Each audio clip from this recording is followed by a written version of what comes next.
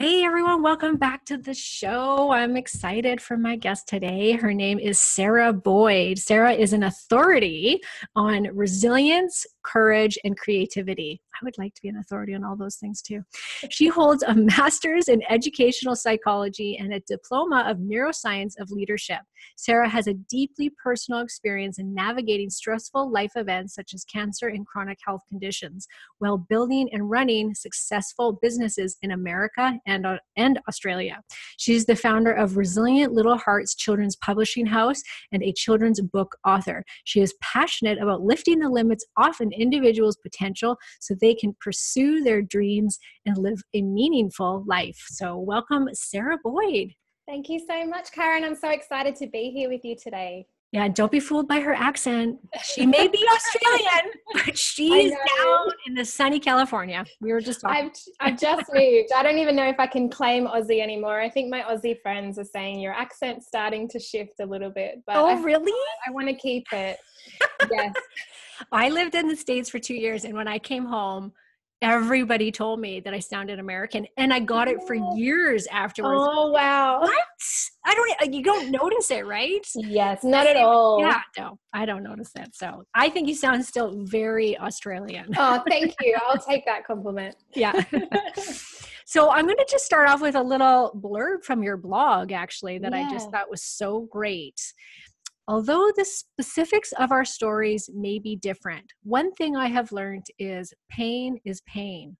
No matter how it comes into our lives, it knocks the wind out of you. As a society, we're not taught how to deal with pain. So the only thing we know to do is to run away from it. But I've discovered the power of facing our pain because of what, what I've gone through. I believe that there's beauty, meaning, and hope, and even in dark, even in dark places. Mm. Honestly, it gives me shivers just reading that. oh, very cool. So, can you just start out just telling us about this dark place that you went through? Yeah, for sure. So, excuse me, my voice is going a little bit as well.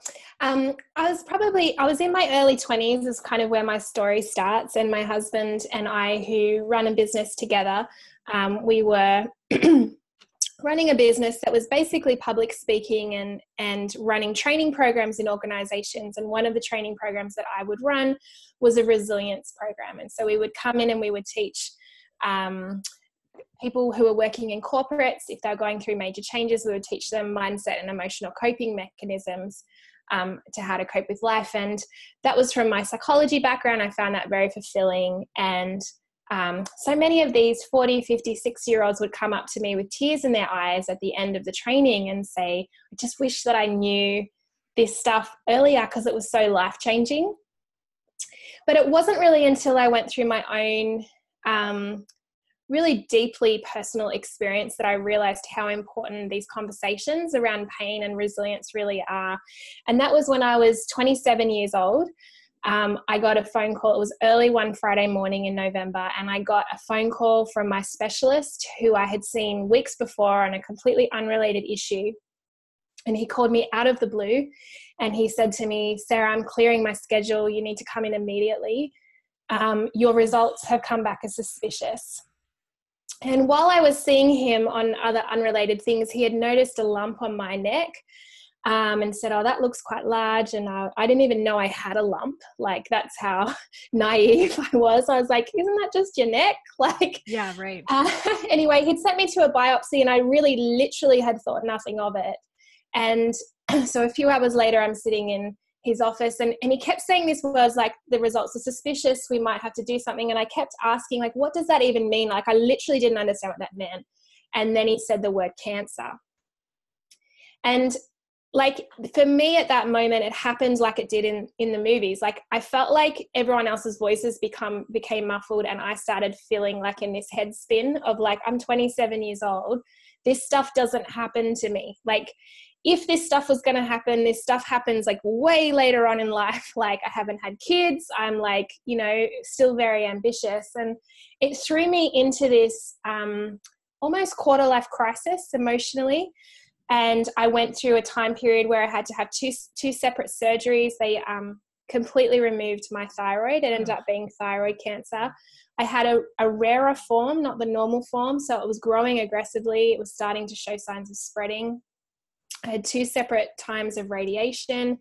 Um, and because of all of the different things and the hormones related, I had huge fatigue. Very luckily, I, I didn't have to go through chemo, um, but I just had this huge fatigue. And so, really, for 12 to 18 months, my whole life was on hold. And I went from being like this highly driven, very ambitious, you know, want to conquer the world personality woman to lying in bed at home or in hospital like having no energy being able to do anything and really emotionally going through this place of like what is my life like what is my life come to and and also i think because it was cancer and i was very lucky they caught it and you know it was never going to be at the point where it was like a threat to my life but i think that just the diagnosis process show, so shook me that at any moment you know yeah. like i just really it just really shook me that at any moment something major could happen in your life and this the rest of your life isn't promised to you and so i that in retrospect was a huge gift because being confronted with your mortality at that age really makes you become very heightened to what's really important and meaningful in life.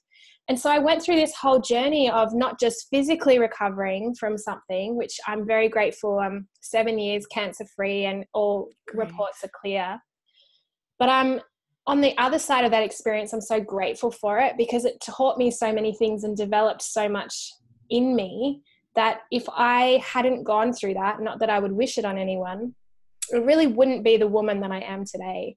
And so that's what I mean when I say there's beauty, meaning, and hope even in dark places because there's something about pain and going through something hard that brings such definition of purpose and the sense of awareness into your life that really doesn't come any other way and we can talk about it with you know all other people but I, I, think if you're in a season of your life where you're going through pain no matter what that's been caused by physical or emotional pain um, there's a gift in there if you can keep holding on and looking for it. Yeah, I agree. At what point, I mean, you obviously, like you said, you're in a dark place. And it's it's interesting too because I went through my own I didn't have cancer, but I actually had a crazy thyroid issue that happened to me where I had really high amounts of reverse T3 and same as you being this like super driven woman that I, I mean, I worked out, I, I worked every day, I could work long hours, no problem. And, and it started to creep up slowly. And it got to the point that I couldn't get off my couch. I couldn't work out. I was super depressed. And I was like, what is the matter with me? And it was months of that before, you know, things started to get better and I realized what was happening and got on the right medication. And yeah. it was like, same thing. I had to be like, okay, why is this happening? But mm-hmm in your own journey, what triggered that aha moment of realizing maybe there's something good in this because i mean when you're in the depths of that kind of darkness and you think your life's at stake it's really hard to be positive and upbeat and be like oh this is all happening for a reason. Yes. so was there something someone or was it just a gut like intuitive thing that kind of came over you when you realized this is happening for a reason? Yeah. So um, I do want to preface that the feeling that I have that it happened for a reason and the gift that it is happened way after the situation. Yeah, okay. and I didn't I didn't feel like that in the situation. Mm-hmm. And and I think that's important to know too that when you've got friends that are going through something hard, like you, they do not want to hear like how it's happening for a reason.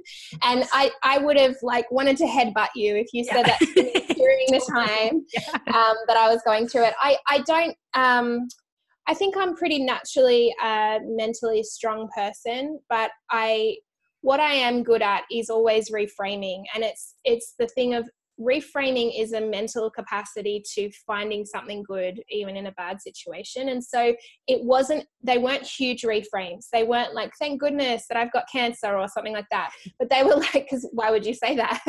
They were really little. They were like well thank goodness like i you know I had this amazing doctor that found it. You know, like I would have gone on living thinking that everything was fine, or thank goodness, like that treatment went well, or right. maybe I didn't feel as tired one day as I did another. And so the reframes were really small. And I think what's important too is I had to I was in a place of resistance for a long time to the, the process of even going through the treatment. Like I tried to keep working and I tried to like I remember one time like showing up at work and my friend calling me and saying like what are you doing? Like 3 days ago you were in hospital, like go home.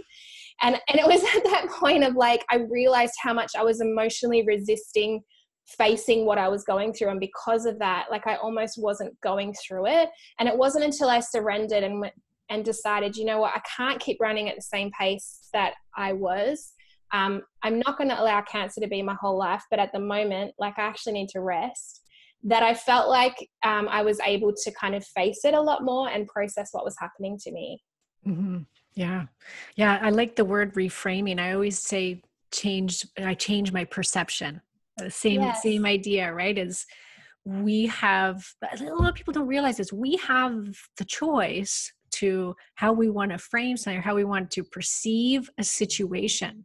Yes. But we're so hardwired not to see that.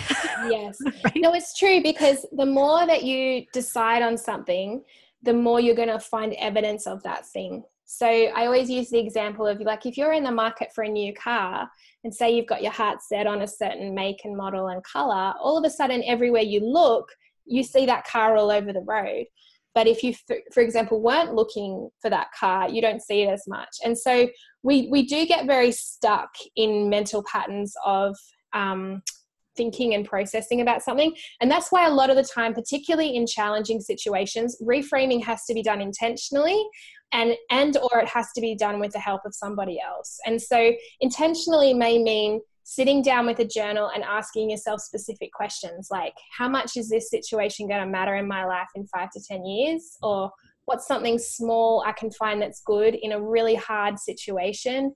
Um, or having a friend ask those kind of questions to you with if you've given them permission to because that's the other thing that comes along with pain that a lot of people don't understand is there's a layer of grief and grief is not something that has to be reframed. Grief is something that just has to be walked through.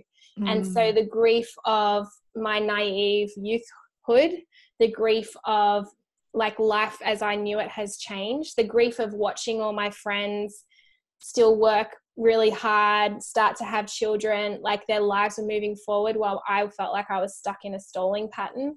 And so reframing doesn't work well during a time of grief. And it's really important to try and find your way through the grief before you kind of put pressure on yourself to reframe this into a positive situation because the grief will come in waves sometimes. Mm-hmm. So uh, now that you're on the other side of it and it's been this amount of time, what have you learned from being sick? What was the purpose, do you think? I think it's really interesting that you were somebody that taught other people how to be resilient. And then you got this like kaboom, like, yeah. okay, now you got to practice what you preach. Yeah. right? Like, it's annoying, isn't it? Yes, it is. Somebody else.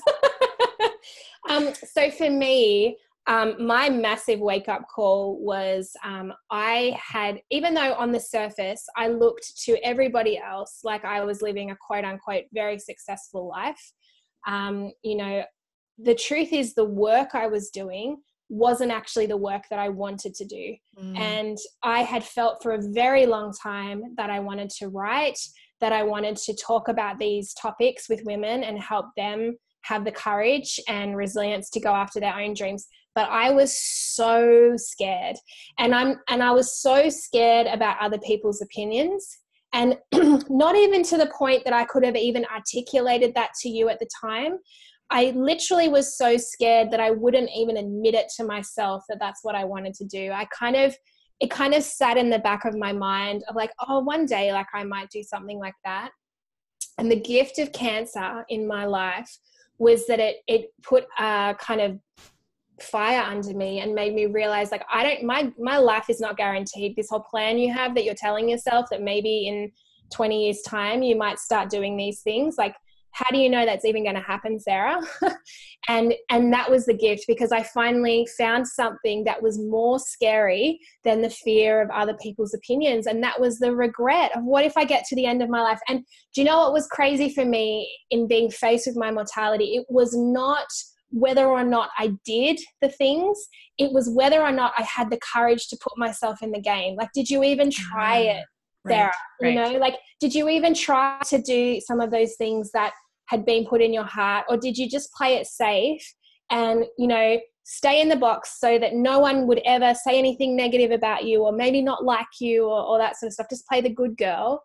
Um, and so that was the gift of cancer for me because if I hadn't had cancer at the time that I had it, I really don't know where I would be in my work that I really find so meaningful now in what I get to do and you know the family that we've built with my husband and I like my life now is genuinely a result of a lot of the wake ups and revelations that I had during that season in my life.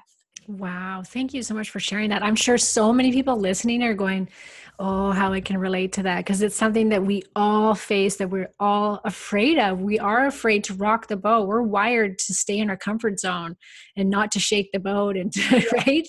Yes. It, everything goes off in our brains, even that tell us, don't, don't change, don't do anything different, keep yes. it the norm.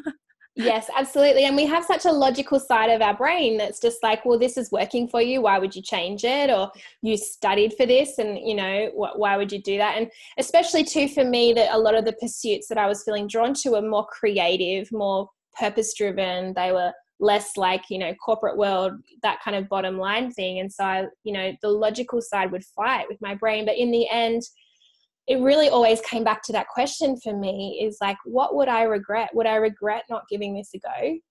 Yeah. And interesting too that it was your thyroid because i'm mm-hmm. i used to do body work and i don't know if you believe in this kind of stuff but every area of the body will signify a different emotion depending on what chakra it has to do with. Yeah. And the thyroid is your voice chakra.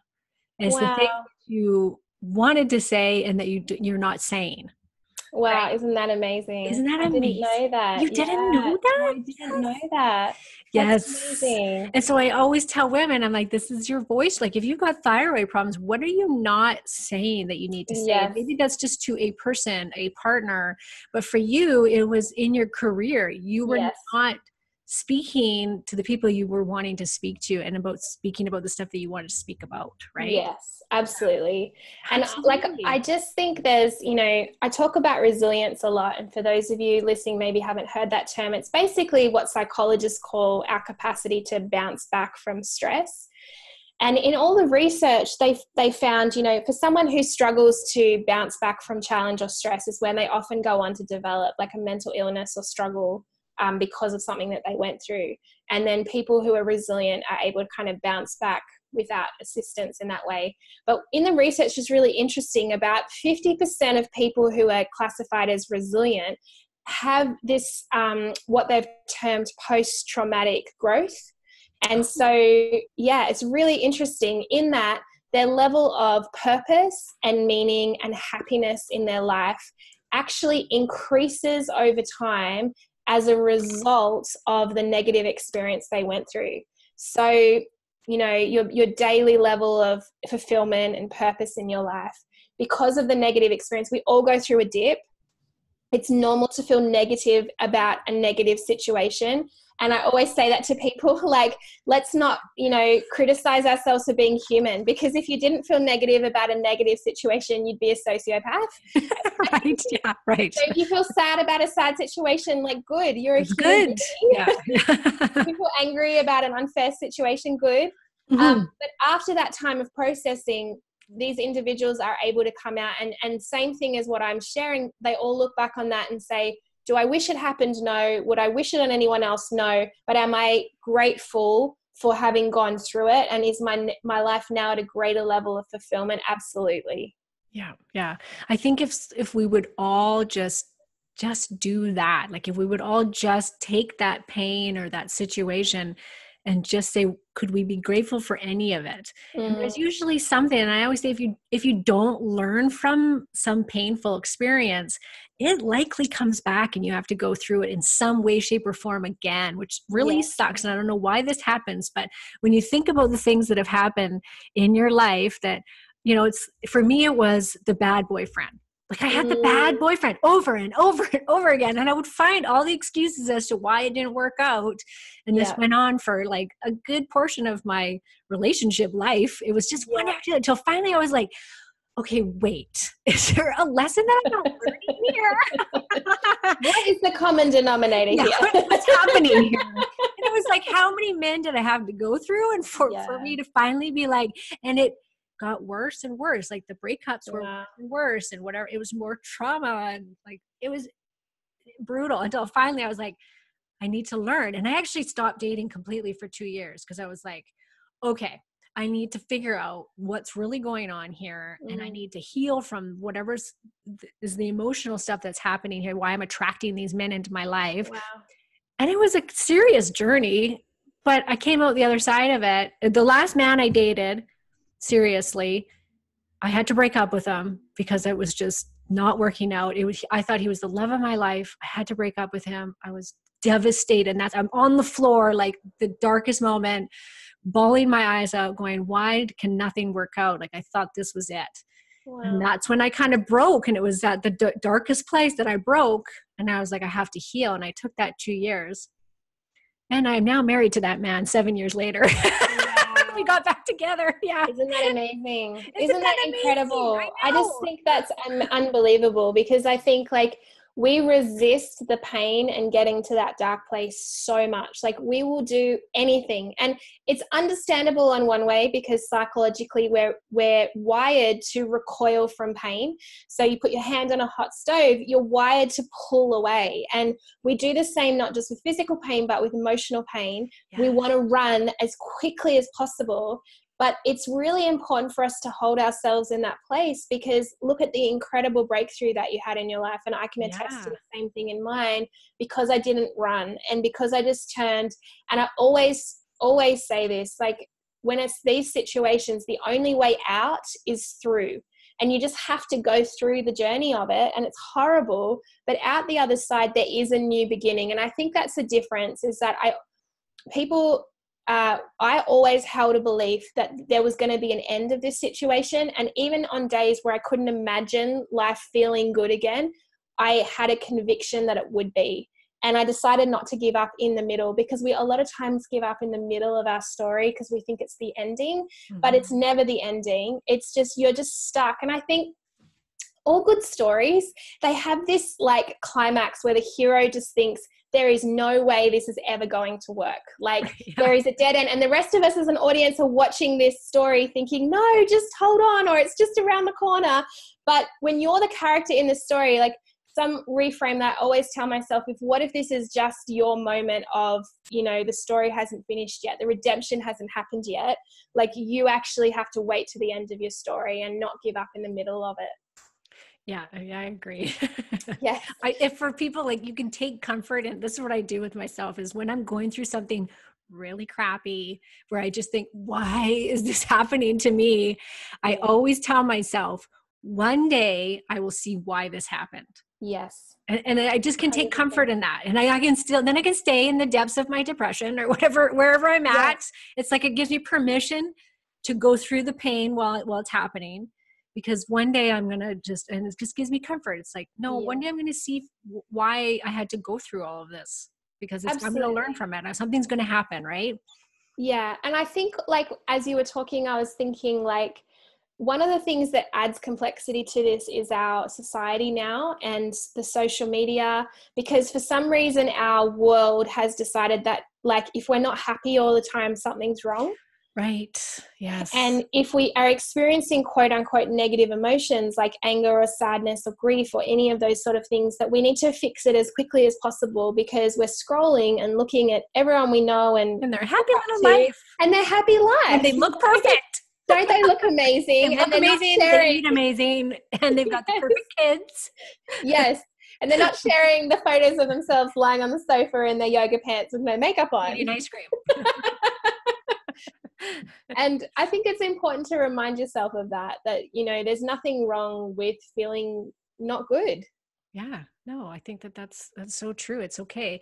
But then, okay, let's talk about the opposite. What mm-hmm. about the people that are stuck in their pain that are they can't it's like that's part of their identity of who they are that it's hard for them to get out what's happening there in the brain yeah I mean, one of the things that I was like very resistant about when I got diagnosed with cancer is I did not want to be known as the girl who had cancer. Like it was just something in me. I saw it as weakness. I don't, it was just a very automatic thing to the point that outside of like close friends and family, I didn't even tell anyone mm. that I mm. was going through cancer because I just didn't want people to be like, oh, poor Sarah. Yeah. yeah. And I, in retrospect i've now realized how positive that was is because i never defined myself by the identity of that. Our identity is is the core operating place that we we operate in life from. It's the core foundation that we make all our decisions upon. It's the core way we interact with other people in the world. So if we allow a negative quote unquote diagnosis to change our identity of who we are, we are basically accepting that as going to stay the same for the rest of our life. And we're going to allow it to change our personality. We're going to allow it to change how we operate with other people. And we do that for all sorts of reasons. And it's normally for some kind of a subconscious positive return that we're getting yes. that we're unaware that we're getting. And yeah. normally, when it comes, if we're talking physical pain here, normally it comes from sympathy or attention. Sometimes we might be in like interpersonal relationships where the only way we've gotten attention is when we've been in physical pain, or maybe we've never felt like we've had sympathy or empathy from other people. And so when we've got this, all of a sudden our needs are getting filled. And so when your needs are getting filled by something that's actually a negative diagnosis, you're setting yourself up to get very stuck because for you to remove yourself or maybe find an answer or solution to lighten or even eliminate the pain becomes a threat on your identity. And we take like psychologically we take threats to our identity very seriously. So i i think about all the major changes that we go through. Um, one of the biggest psychological change uh, like griefs that someone can go through is the death of a spouse. And that's not just because of the love that people have, it's because their whole identity for how many of years of their life was known in relation to someone else. It's an identity wow. shattering. Yes. And so for us, it's really important that we ask ourselves the question have we connected our identity to something that we would actually like to be transient? that's not serving us, right? It's not serving us. And even if that's something that has been quote unquote chronic, even if it's something doctors have told you would be forever, I still stand by not allowing that to change who you are in your identity um, and allowing your identity to be framed by the things that are actually going to serve your life moving forward.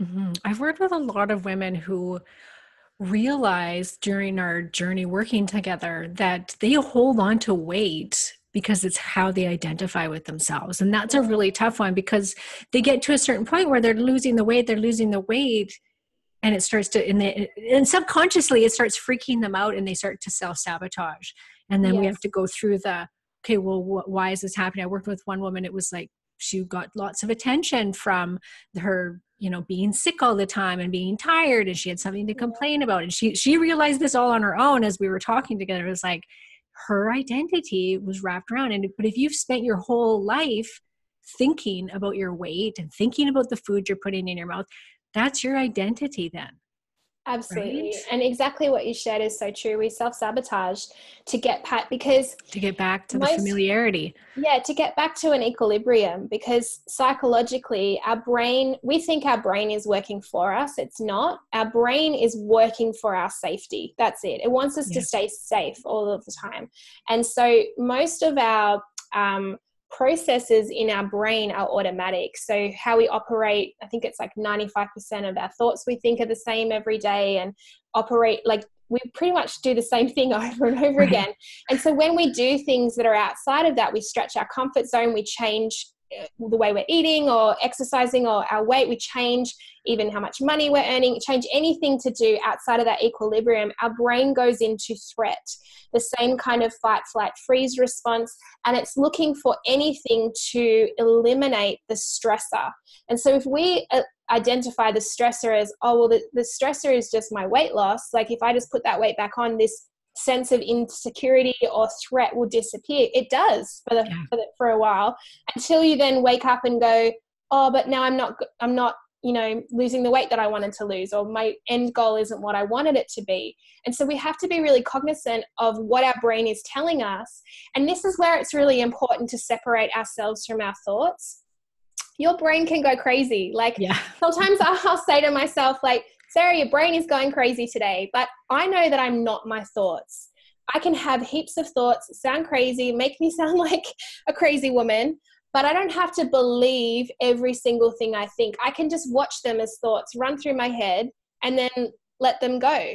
And this is where it's really important that we don't latch on and think, well, if I'm thinking this about myself, it must mean that I am this. Yes, yes. And that's my, or that's my identity. I, I heard from one of my favorite guys, Jim Fortin. You might know him. Yes, yeah. Yes. And he says, You're the thinker of your thoughts. And I was like, Oh, okay. It's like it puts the power back in your court. It's like, well, yeah. then change your thoughts, right? But then you have to be, then you have to become aware of your thoughts, which is very challenging. Like I said, so we're on autopilot all the time.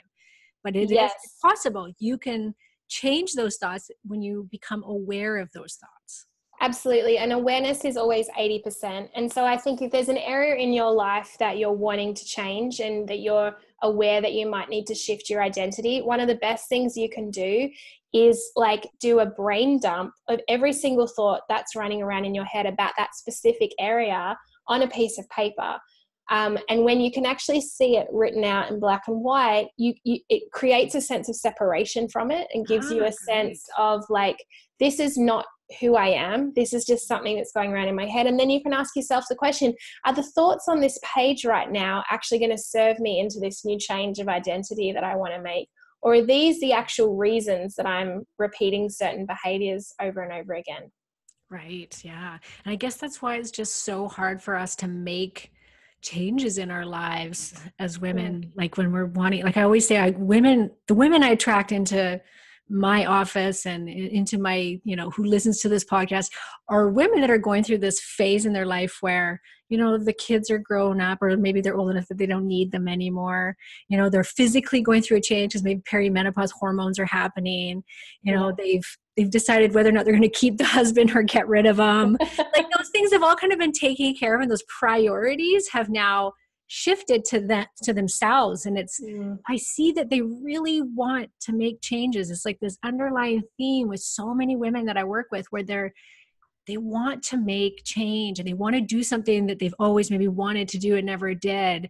And it's like it starts to show up and manifest physically painfully yeah. you know whether it's you know a sore back or putting on some weight or whatever it is. And it's like what, what could you tell these women that are wanting to make these shifts make these changes? I think that brain dump is an excellent one. Do you have any other tools just to help people to take that to get the courage to move forward yeah i think awareness is is definitely the first point of the process because otherwise we psychologically create or life attracts into us enough pain until we make the decision. And so a lot of times we don't make change until not making change becomes more painful. And so if you can become become very aware and kind of awaken in your own life you can eliminate some of that because you know the, what you're describing there for a lot of times women have put themselves on the back burner for yes, years you know? and so the discovery of how they really feel for some women the discovery of you know what's their favorite flowers to receive or what what do they actually like to eat? You know they really so disconnected from who they are because they've been in service to other people. That can even in of itself be a huge process. And so i am a huge advocate of journaling. Yeah. Not in just the sense of like a dear diary. Um, you can keep it if you want to but it's very much a allowing your soul and your mind to have an outlet. In your brain, there's a part of your brain called the prefrontal cortex that can only hold like three to seven thoughts at one time. And if you don't write things out on paper, or on your computer, um, it will loop the same thoughts over and over again so that you don't forget them if, if your brain believes it to be important. So, if there's some things that you've been thinking about, if you are not regularly and on a daily basis writing them out, unedited, unscripted, not worried about what, like this journal needs to be something that no one else is ever going to see. Um, it, you don't even need to keep it if you don't want to, but it's your opportunity to get everything out onto a page and begin to do that as a regular practice. You will begin to become aware of what's actually number one most important to you and number two what might actually be holding you back because you'll begin to notice yourself having pat we all have patterns of yeah. sabotage or the way that we operate within ourselves and and over time you'll begin to see hang on didn't i have that same thought process about this other thing that happened and now i'm doing it again and and it just wakes you up to how you're being in the world so i would really encourage everyone people have resistance to journaling i think because they think it's like this dear diary like today i yeah. went to the shops so I more like see it as an unedited um, description of all the thoughts running around your head. It doesn't have to make sense. It can start with like, today is sunny outside and this person's annoying me. And having just like that real raw place where you can be honest is like hugely important and game changing. Yeah. Have you heard of that book where I think it's called Pages or something, or you do your pages? Like, have you heard about this? And it's for people uh, with ADD or something? No, I haven't. Oh, oh, I wish I could remember what it was called. Oh, it's like it's this well, that idea where you wake up every morning and you're not allowed to pre-think anything. It's a brain wow. dump, and you just you write nonstop for a set amount of time. And it's yes. you, it's un, like exactly what you're talking about, and it's yeah. like journal for it. Wow, that is so interesting. I know. There you go. Get that journal. That I know. I'm going to try and think about it. I'm going to look for it in the show notes. Yeah. Hopefully, I find what it is. I yeah. just remember this guy telling me he called it his pages. So I don't know if that's what the book was oh, called. Wow or if that's what it was called. Yeah, I have heard about it in creative writing, you know, about allowing that kind of subconscious to get out on the page before you start your creative work. I've heard about it in that context.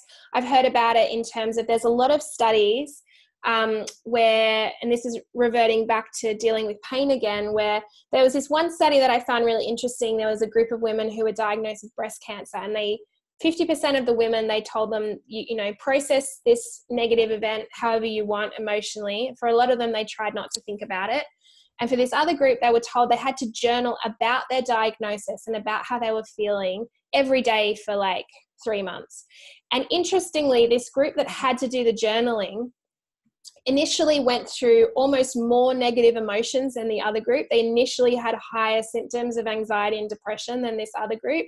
But at the two year mark, they were so significantly higher in their coping, their purpose, their fulfillment, their happiness than this wow. other group that it was so substantial that these researchers were actually really surprised.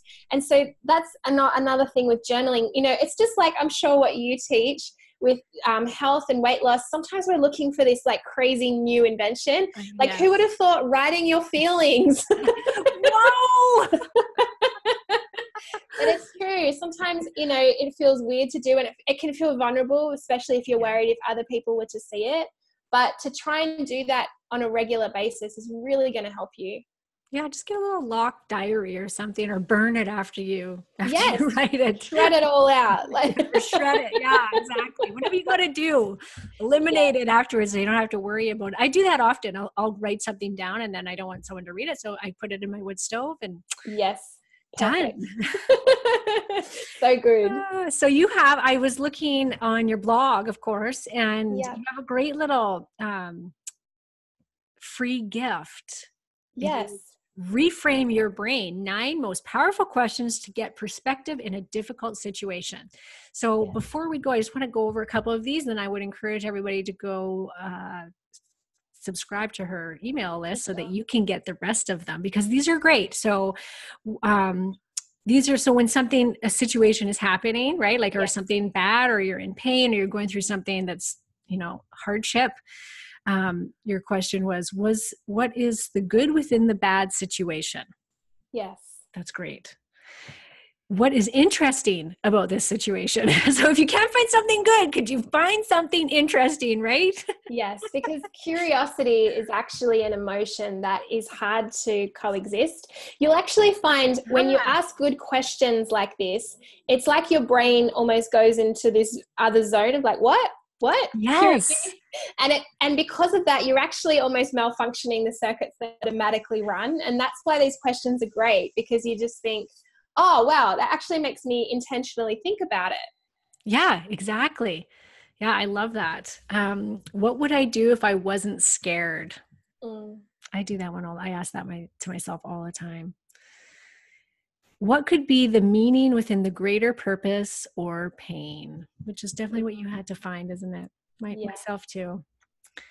And you know these are things that can like she said it can pull you out of the misery of the depression even momentarily just to give you a different perspective on what's happening in that moment. And i think that that's so important. I always do like for the last couple of years when i realized i could change my own brain i can change my thoughts I've been on this mission to kind of challenge myself almost about how fast can I change my emotions mm-hmm. in a wow. in a in a not such great situation, right? If something yeah. happens to me physically, emotionally, financially, whatever it is, I you know I, I'm going through that pain, and I now I try and not go through it for too long. I try and get through it as fast as I can in the sense of, okay, I'm going to go through this, but then I'm moving on. And it's like, how fast can I, I change my perception perception of what just happened? That's so good because you, are really what you're doing is you're training your brain to. I mean, I just did a rhyme there, guys. You're training your brain to reframe. There you go. There we go. We're gonna start rapping now. because like it's all those little moments where you're reframing even smaller situations and medium situations. That when you do come into big situations in your life, you've developed that mental strength. I always use the same example as if you go into a gym, you've never done weights before, and you walk up to the heaviest weight there is it's going to be a huge struggle for you to go through that situation or lift that weight. But if you've been regularly lifting smaller weights and medium weights, when something massive happens in your life, you're going to have that mental reserve and that emotional reserve to deal with it. Yeah. And so a big part of your mission now is not only teaching women this, but teaching women so that we can also teach our children. And you're yes. teaching children resilience which i think is just unbelievable. So tell us a little bit about that business. Yeah so we i started resilient little hearts uh, maybe a year ago and it's really a movement to teach children these concepts of resilience and courage and kindness and all of these mental and emotional coping skills. I just know i've got two young children myself and i just know from everything that i've been through they are growing up in a very different world than we're growing up in and yeah I believe that the tools that we're talking about today are fundamental to positive coping in life, but I also know they're going to be even more fundamental in the next generation. Yeah. And so I'm really passionate about equipping children with these tools. And one of the main ways that we do that is through story um, because you know children don't want to get sat in a conference room and told about mindset practices. Um, here's how you be positive? Yeah this is you're like the thinker of your thoughts kids. Don't forget and so yeah i'm i'm in the like uh, we're releasing i'm releasing a whole children's book series around wow. resilience and courage and so we've already got our first one um, out. It's uh, about courage. It's called the boy who stood up tall. And it's really about reframing what courage is what bravery is how we can stand up to our fears. Um, and so with every book so with this first one there's also a parenting pack um, a digital download uh, where they can understand how to support their children through fear. And so our whole um, movement, I suppose, is about supporting the parent and actually giving the child resource so that as they grow up, they've got these foundations to come back to. Great. And and for us women and mothers, what better way to teach your kid by leading by example? Absolutely. Uh, right. and that's the biggest thing with parenting. I get a lot of questions in, in that other business that I run. You know, how can I help my child? And at the end of the day, if you can't do anything else, the most influential thing you can do is to example and be an example of these benefits. If you want your child to be courageous, you need to be courageous. Yeah. If you want your child to be resilient, you need to be resilient. And really taking these principles to heart yourself because they're watching you and they're watching they're watching you more than they're listening to you sometimes. Oh, all 100%. the time, actually. Yes, all the time. well, you just think about like, have you not many times in your life been like, oh my gosh, I'm so like one of your like, oh, I'm so I'm I'm always like, oh, I'm just like my mom. Jeez. Yes, totally. and you do those mum lectures where you yeah, think yeah. I'm getting my point across and no one's listening. uh, like my mom. Yeah. so true. Well, Sarah, this has been awesome. I really appreciate talking to you. I think you've really hit home on so many great topics here. And I know that so many of the listeners are going to get so much from this conversation. So thank you so much. Oh, thank you, Karen. I've loved it. I've loved chatting about it. And yeah, it'd be great. It's been so good talking with um, hearing more about like what you do as well because i mean you gave a gift to me i didn't even know that about the thyroid and stuff so thank you yeah you're gonna have to look into that i am yes anne louise hay oh i have heard her have yes. Heard yeah so a- anytime that you have sickness, pain, anything. Just look yeah. up whatever it is, like back pain, Anne Louise Hay, and she's going to tell you. She's going to tell me. It means. I'm going to look it up. Thanks, Anne Louise Hay. yeah. All right. Well, thank you so much. Thank you, Karen.